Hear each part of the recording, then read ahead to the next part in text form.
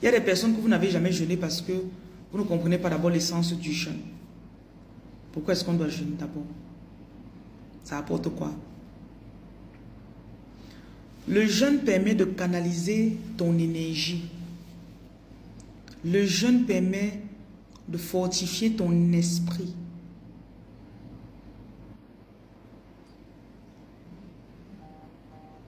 Le jeûne permet de clarifier ton esprit aussi. Le jeûne te donne la force. Le jeûne te donne la force. Le jeûne, c'est le fait de se priver de quelque chose qu'on aime. Parce que si une femme enceinte, qu'elle ne jeûne pas. Si tu es hypertendu, diabétique comme ça, ne jeûne pas. Mais tu cherches autre chose dont tu vas te priver pendant quelques heures. Parce que quand on mange, quand on fait, quand on est sur TikTok, ça nous plaît. Ce plaisir qu'on obtient,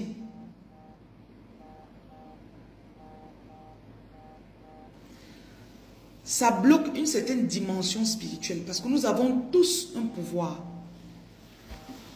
Ok?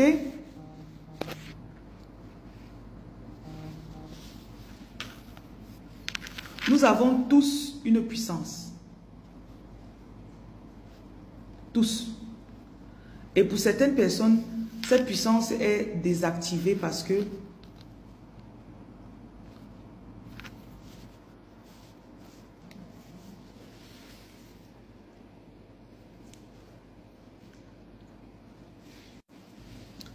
le manque de connaissances désactive notre puissance.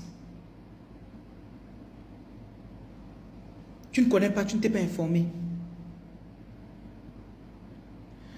Deuxièmement, tu étais mal entouré. Il y a des personnes que vous avez été entourées par des bonnes personnes qui vous ont montré comment on jeûne, qui ont l'habitude de jeûner.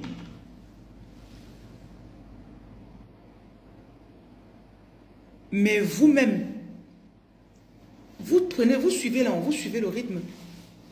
Mais très souvent, ce qui affaiblit notre puissance, c'est l'ignorance, le manque de concentration, le manque de discipline.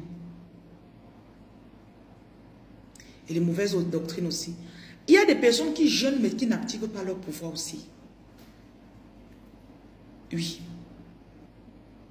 Il y a des personnes que n'activent pas leur puissance. Dans quel sens?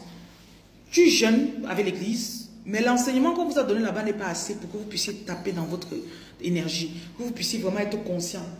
Du coup, vous êtes toujours dans une énergie de euh, supplication. Vous êtes toujours en train de supplier.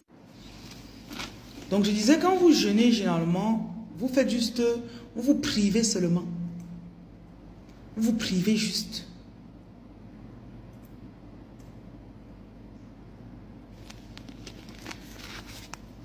On va lire le verset Ésaïe 58. Vous savez vous-même que ça c'est un des versets clés que je lis pendant le jeûne avec vous.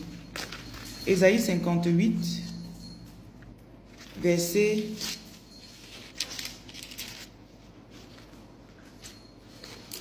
Ésaïe 58,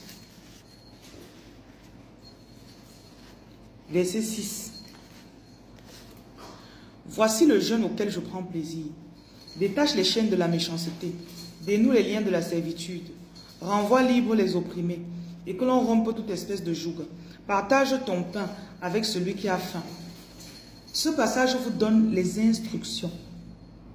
Ésaïe 58, vous lisez du verset 6 au verset 13. Pour les musulmans, tous, tous ces principes spirituels sont valables, peu importe ta religion. Il dit bien, pendant ton jeûne, tu as le droit de détacher les chaînes de méchanceté. Peu importe le niveau financier que tu as, il y a toujours une chaîne sur toi. Deuxièmement, dénoue les liens de la servitude. Peu importe à quel niveau tu penses que tu es libre, il y a toujours quelque part où on t'a attaché, tu es en train de servir. Renvoie libre les opprimés. Premièrement, sur toi-même, ça te donne le droit, et sur d'autres personnes aussi. Et quand vous jeûnez, ça vous donne le droit de dire, ok, je me place, I stand on this word. Madame, arrête de faire du bruit. Money, c'est comment? Donc, je me mets sur cette parole et je déclare, je suis en train de jeûner. Je déclare que, selon Ésaïe 58, verset 6, je détache les chaînes de méchanceté sur ma vie, sur la vie de mes enfants. Ça dépend de la personne pour qui vous priez, hein, ok? Et là, il y a d'autres instructions. Et le problème, c'est que quand les gens viennent vers Dieu, ils veulent venir avec leurs conditions. On dit ici, partage ton pain avec celui qui a faim. C'est le jour où vous savez tous que c'est en fonction de ces principes-là que les offrandes que vous envoyez là, c'est l'argent là que je prends pour aller donner à manger sans appeler avec. Quand vous laissez oh, reine lumière, voilà mon offrande, oh voilà, même vos dîmes, c'est ça que je prends. Je ne pas donner à manger aux gens avec. Ce jour où vous faites vos jeûnes, c'est le jour pour toi de sortir quelque chose de ta poche. Tu pas donner. Et votre problème, c'est que vous êtes trop chiche. Vous êtes trop radin. C'est une culture que, même en Europe, les gens ont. Tu vas voir quelqu'un, il ne part pas à l'église, il n'est pas euh, le gars le plus chrétien, mais il connaît que chaque mois, je donne 20 euros pour, pour le, resto du cœur. Chaque mois, il, il, 20 euros, ils prennent de mon compte. Vous, on doit courir derrière vous. Parfois, quand vous faites vos offrandes, vous croyez que vous me faites un... Vous, croyez que... Oh, eh, j'ai des lumière. Et qui est?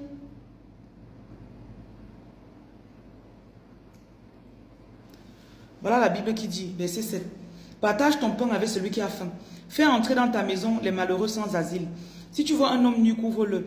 Et ne te détourne pas de ton semblable. Alors, alors, vous aimez la partie où votre lumière vient, mais vous n'aimez pas la partie où vous donnez quelque chose à quelqu'un. Si tu me suis, tu es chiche. Désabonne-toi de ma page. Vous avez dit ça. Si tu me suis, tu ne connais pas fait une offrande dans un ministère. Désabonne-toi. C'est pour ça que vous êtes tout bloqué. On a lancé les parrainages d'enfants en, septembre aussi là, les orphelins. Parrainer un enfant, ça vous coûte 20 euros le mois. Il y en a que jusqu'aujourd'hui, ça vous dépasse. Pourtant, tu sais que tu restes comme ça sur un coup de tête. Tu dépenses 200 euros sur ton gars, le gars qui te trompe là. Bon, continuons. Je parle seulement mes choses. Alors ta lumière poindra comme l'aurore. Ça veut dire que ta lumière va augmenter. Ta lumière va... L'aurore, ça veut dire que quand le jour se lève, ça va seulement en croissant. Quand il vous dit qu'il y a des gens qui ne manquent jamais. Parce qu'ils ont compris, les, il y a les principes. Que même si c'est le plus grand sorcier de ta famille, il ne peut pas te toucher. Parce que tu es protégé par tes pratiques spirituelles. Par tes principes qui régissent ta vie et tes finances. Quand vous voulez montrer que vous êtes fort, vous voulez montrer que vous êtes sage, vous voulez montrer, n'est-ce pas? Continuez.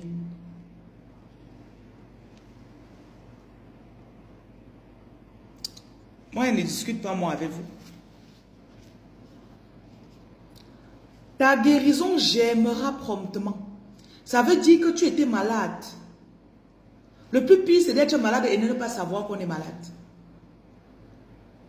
Le plus pire, c'est d'être dans un trou et ne même pas savoir que tu es trouté. J'ai inventé ma part de mots. Que ta destinée est troutée. Tu es dans le trou. Tu ne connais pas.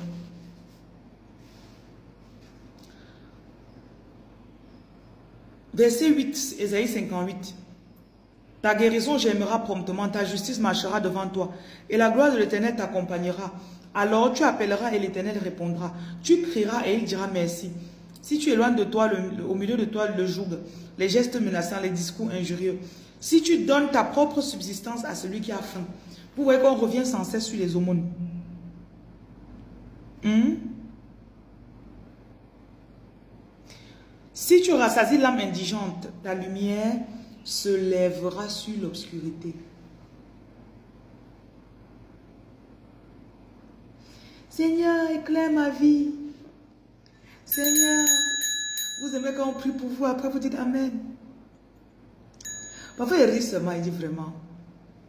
Vous aimez quand on prie pour vous, c'est sucré.